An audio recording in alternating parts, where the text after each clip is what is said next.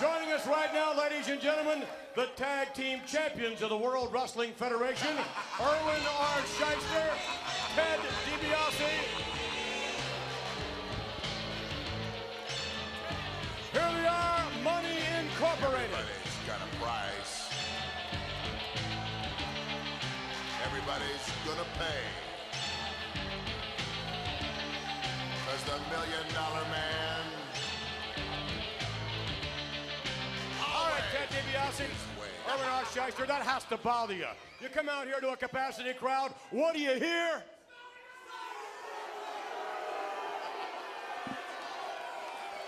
The only thing that bothers me, McMahon, is an empty bank account, and I'll never have that.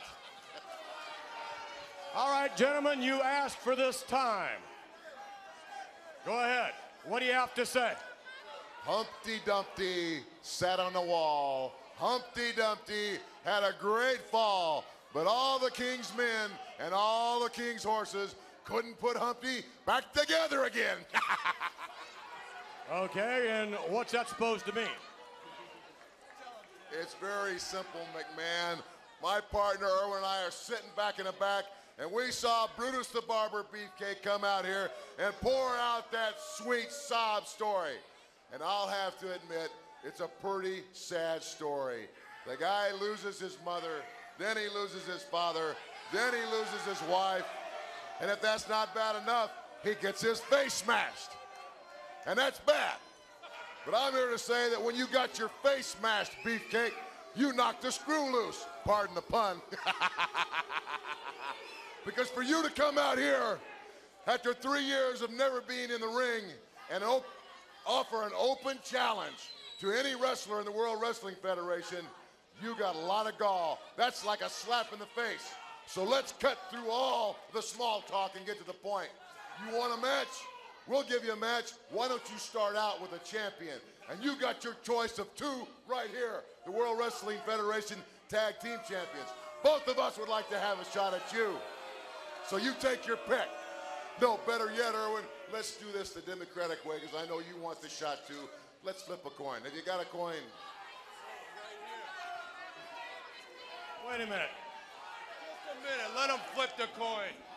See who gets him. Heads, I win. All right. I win. So it looks like, Beefcake, if you want to accept the challenge, the open contract, it's going to be the million dollar man. Jimmy Hart, what do you, where have you been? What do you, you two put them up to this? What are you, what are you doing? Well, you know, this is ridiculous. This is a waste of time, guys. Let me tell you something. We're the World Wrestling Federation Tag Team Champions. Irwin, if you get in the ring with Brutus and you get hurt, it's over, baby.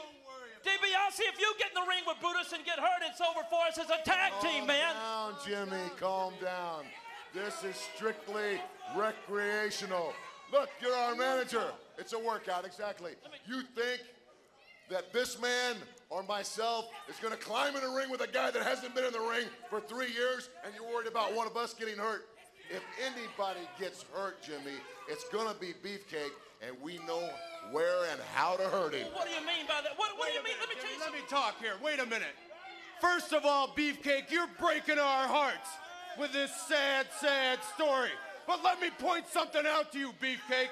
While you're laying on your back, all those doctor bills collect and realize that you're not paying any tax. So that makes you no better than every one of these stinking tax cheats right here and all over the world.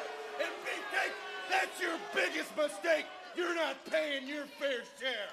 That's right, Irwin. In addition to that, the way I see it, in addition to being a tax cheat, Beefcake, you've only got one asset left. You are destitute, you're penniless, you've had it bad. But the only asset he's got left is that million dollar face. And you know, we wouldn't do anything to that. Look, why don't both you guys quit clowning around? We've got contracts to sign. We've got matches to talk about. So let's go. Come on.